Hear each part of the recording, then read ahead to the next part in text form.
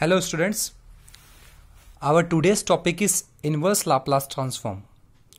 Inverse Laplace transform is a very important topic which is used in engineering as well as uh, MSc of uh, many universities of Rajasthan. Uh, so today we are discussing two important properties of inverse Laplace transform. One is derivative property and other is division property. First we study derivatives property. See carefully in front of you. If L inverse of f of p is f of x, L inverse we have discussed L inverse in earlier classes.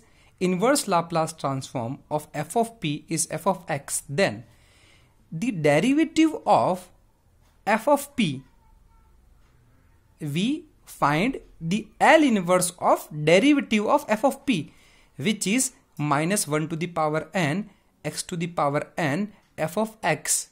So basically this property says that if you have the L inverse of a function then you want to find the L inverse of derivative of this function then by this property we can find the L inverse of derivative of a function. Here dn by dpn is of f of p means the nth derivative of f of p and it is equals to minus 1 to the power n x to the power n f of x where n is 1 2 3 so on. If you take n is equal to 1 then what it will become? If we take if we take here n is equal to 1 then n is equal to 1 then it will become d by dp of f of p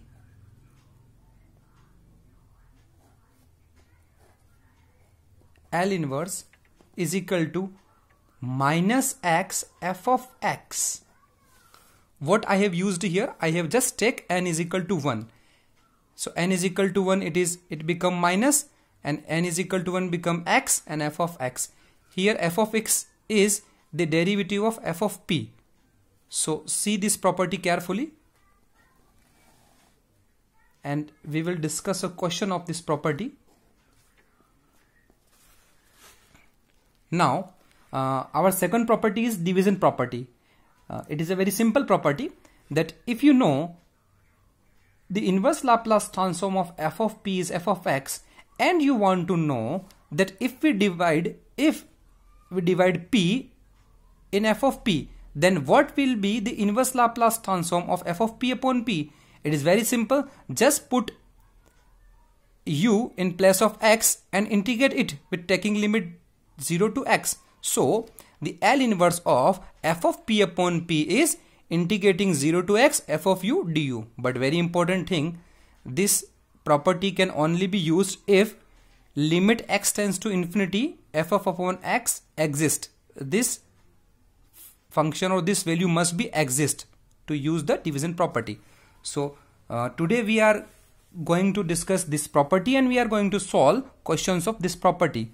So see and learn this property very carefully. Now uh, we take a question in which both these properties are applied. We take a question here. Question is in front of you. The question is what will be the L inverse of P upon P square plus 1 whole square. Also, we have to show that L inverse of 1 upon P square plus 1 whole square is half sin x minus cos x. Now, I am solving this question. See carefully.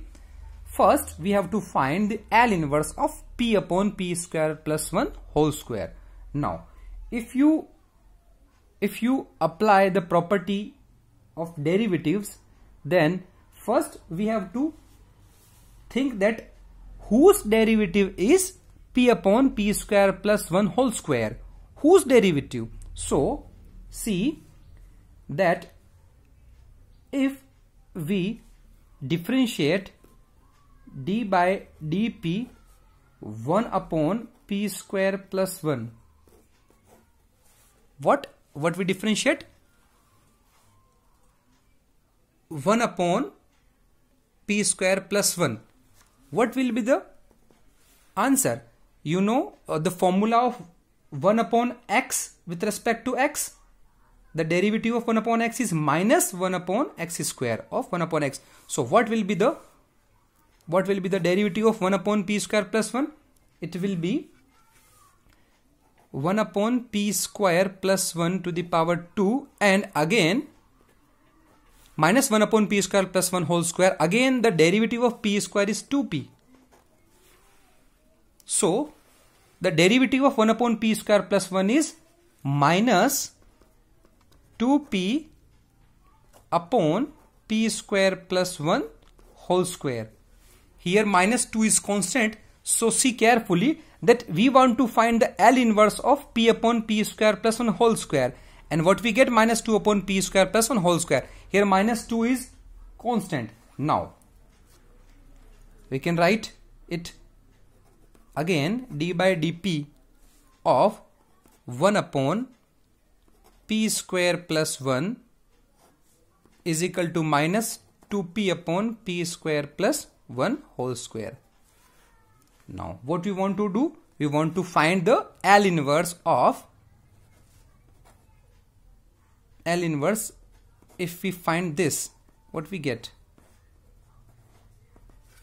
now what we have what we have learned in our theorem we apply our theorem but if I find the L inverse L inverse of 1 upon p square plus 1 what is the L inverse of 1 upon p square plus 1 it is a standard result and it is sine x.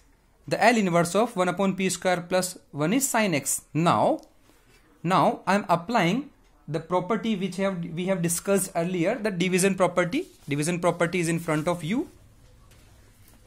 What division property is? What division property is division property is if you know the L inverse of f of p and you want to know the derivative of L inverse of derivative of f of p then we apply this theorem now what is in our question? We know that L inverse of 1 upon p square plus 1 is sine x and we want to know we want to know the L inverse of its derivative minus 2p upon p square plus 1 whole square is a derivative of 1 upon p square plus 1 so we can apply our property easily. What the property says?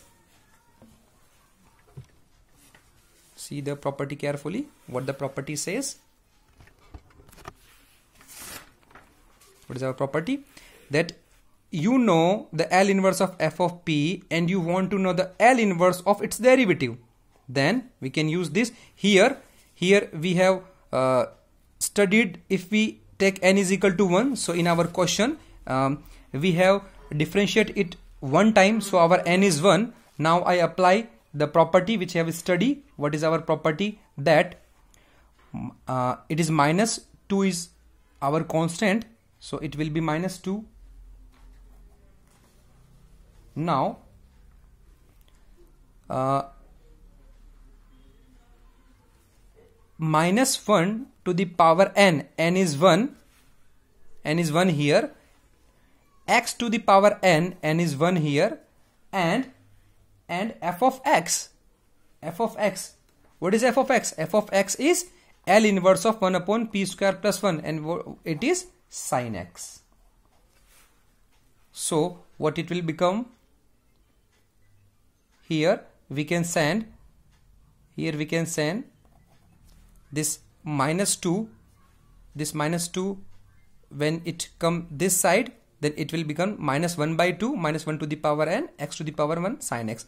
So L inverse of L inverse of p upon p square plus 1 whole square is this minus minus become plus and it become x by 2 sine x x by 2 sine x. And we got the answer that L inverse of p upon p square plus 1 whole square is x by 2 sine x. Here students uh, this this minus 2 when it come in RHS then it come this side and uh, it uh, upon x it will be under the x x by 2 now it is our answer so next we uh, also uh, show we have to show that L inverse of 1 upon p square plus 1 whole square is half sine x minus x cos x. Uh, we have earlier study uh, second property which is division property. C uh, division property is in front of you. If you know the L inverse of f of p which is f of x and you want to know the L inverse of f of p upon p then we use the formula f of u du so we can use the formula here. What we know that L inverse of p upon p square plus 1 whole square is x by 2 sine x.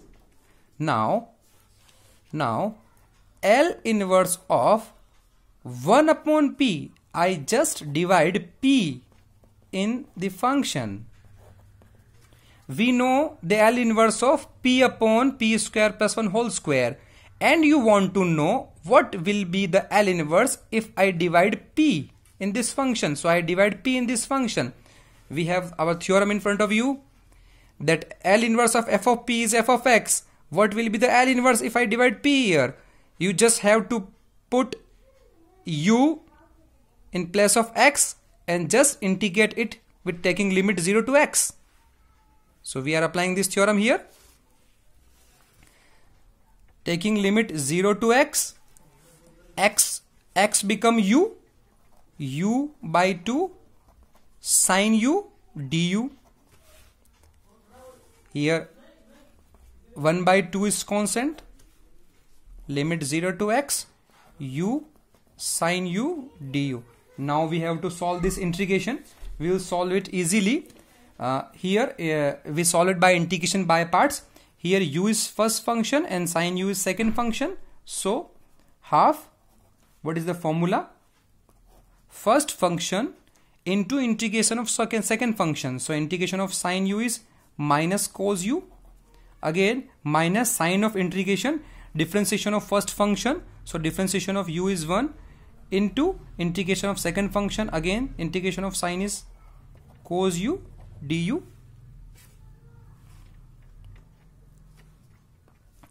is equal to minus u cos u minus minus plus and integration of cos is sine. So it becomes sine u.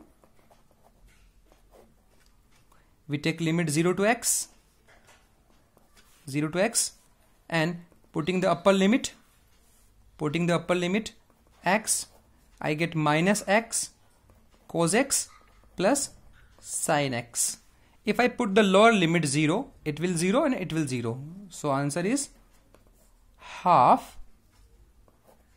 minus x cos x plus sin x.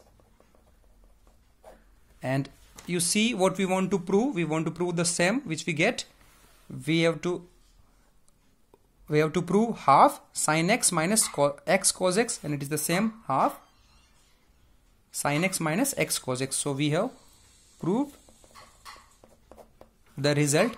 So uh, students you can also take the screenshot of this question for your further understanding. Now uh, I hope you understood this question easily. Uh, we have used both theorems which we have earlier discussed. We the both property we have discussed division property and uh, derivative property is which is in front of you property number 1 and 2 and we use this property 1 and 2 in our question. Now if you understood the concept of these both properties then I have a question for you. You can also uh, solve the question based on this property. The question are in front of you. I have three questions. First is L inverse of p plus 1 upon p square plus 2p plus 2 whole square and answer is given in front of you. Also the second question is given. And in third question you have to prove the inverse Laplace transformation. And also you have to evaluate the value of L inverse of this function. And answer is 2 by x 1 minus cos x. Uh, students uh, i hope you understood the two topic which i have discussed today. Division property and derivative property of inverse laplace transformation. And uh, for further questions and further important topics of inverse laplace transformation you can go to my youtube channels. Thank you very much